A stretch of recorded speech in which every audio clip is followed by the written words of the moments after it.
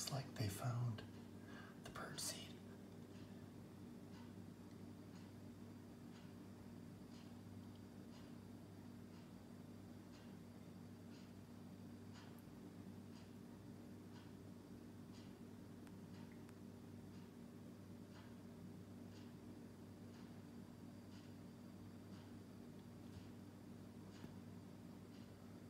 Five of them in the backyard. This is totally awful.